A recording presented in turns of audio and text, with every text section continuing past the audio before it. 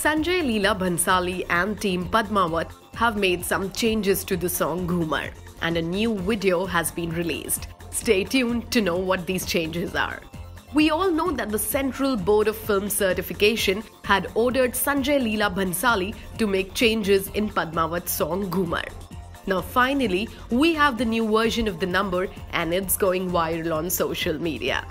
One look at the track and it's clear that the makers have covered Deepika Padukone's waist and we must say the job has been skillfully done.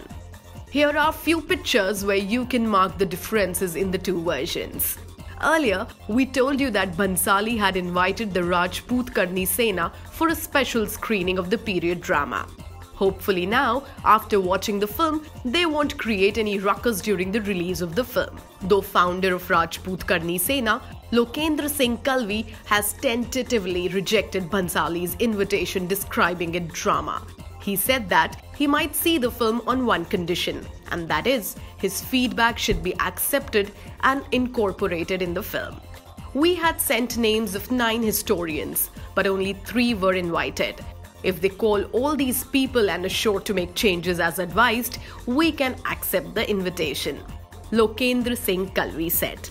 Meanwhile, Rajput Karni Sena has issued threats to cinema owners if they dare to screen the film. It is for them to decide if they want to celebrate Diwali or want to see Lanka in flames, said Kalvi. After Padman shifting to Feb 9th, Padmaavat is going to have a clear release on January 25th.